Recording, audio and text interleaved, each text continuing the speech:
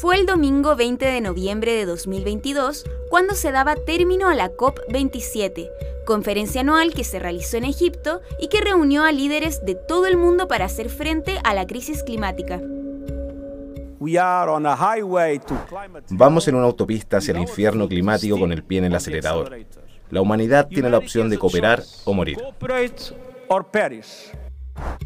Esta fue una de las tantas advertencias que se dijeron, pero la idea era que no todo se quedaran palabras.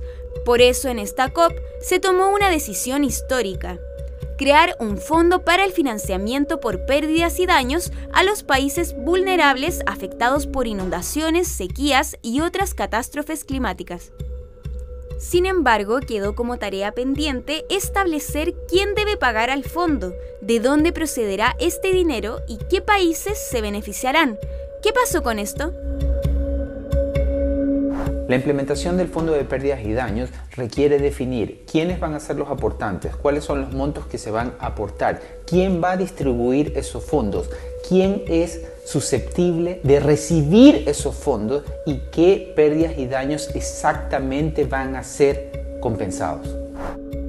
En la COP27 también se planteó que los países deben avanzar hacia sistemas energéticos de bajas emisiones, un paso positivo, pero según los expertos planteado de forma pasiva, especialmente considerando que un nuevo estudio aseguró que las políticas actuales de reducción de las emisiones de carbono son tan insuficientes que este siglo se alcanzarían los 3 grados Celsius de calentamiento.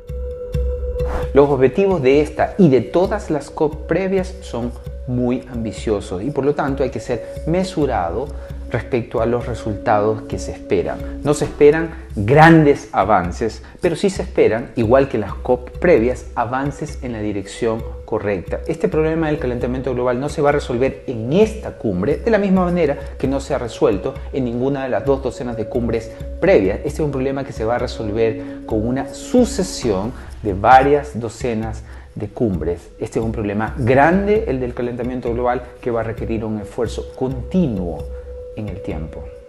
En estas reuniones, y lo sabemos, ¿cierto? No, muchas veces se entiende que no se logran tantos avances, pero la verdad es que se va avanzando, ¿cierto? Y si no fuera porque existieran estas reuniones, probablemente estaríamos peor. Queda poco para que comience la COP28, que este año será en Dubái. ¿Cuáles son las expectativas? Algunos hablan de que esta vez sí marquen presencia los jefes de Estado de alguna de las mayores economías y países más contaminantes del planeta, como Rusia o China.